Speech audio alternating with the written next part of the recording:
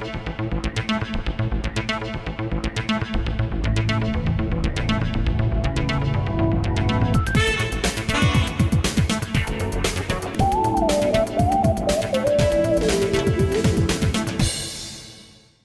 Outra proposta aprovada e que segue para a sanção do prefeito é a que altera tanto uma lei complementar de 2009 quanto o plano diretor sobre o certificado de potencial construtivo para imóveis tombados. O projeto de lei amplia o número de áreas destinadas para investimento. A mudança aprovada pelo plenário altera o plano diretor e uma lei de 2009 que trata do potencial construtivo de imóveis tombados na cidade.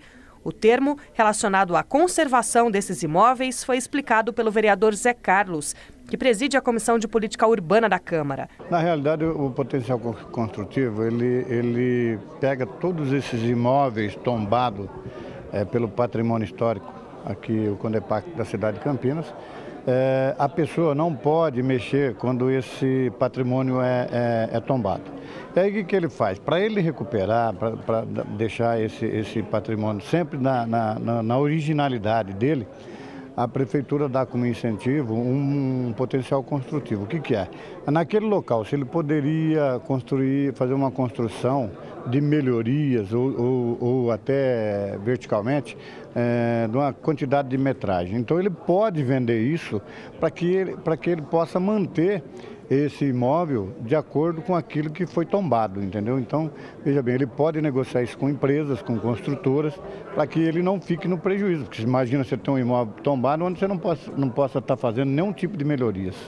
O vereador explica as adequações da lei que vão permitir melhor aproveitamento e manutenção desses prédios. O que o prefeito está tá fazendo com esse projeto é dar mais um incentivo para que esses imóveis que venham é, no futuro a ser tombados, ele, ele se dilua para a cidade inteira. Por exemplo, se eu tenho um potencial construtivo de 5 mil metros quadrados pelo imóvel que foi tombado, ele possa vender para diversos locais de Campinas, não só no local, entendeu? Ele pode fazer essa de acordo com, com o, o tipo é, de zoneamento que existe nesse local, entendeu? É, que tipo de comércio vai ser feito, é, que, o que, que vai ser construído. Então, quer dizer, ele pode diluir isso na cidade de acordo com as necessidades é, daquele pessoal que ele está vendendo. Com a mudança, a lei que já atinge 20 bairros e dois distritos da cidade vai beneficiar novas regiões, entre elas a da Avenida Norte e Sul. Exatamente, ele dilui para a cidade, para outros bairros que, que, que tenha é, condições de utilizar esse potencial é, na construção e melhorias, ou, ou, até fazer algumas torres ou, ou áreas comerciais, entendeu? Então, isso vem facilitar e muito a vida desses proprietários que têm os imóveis tombados na cidade de Campinas.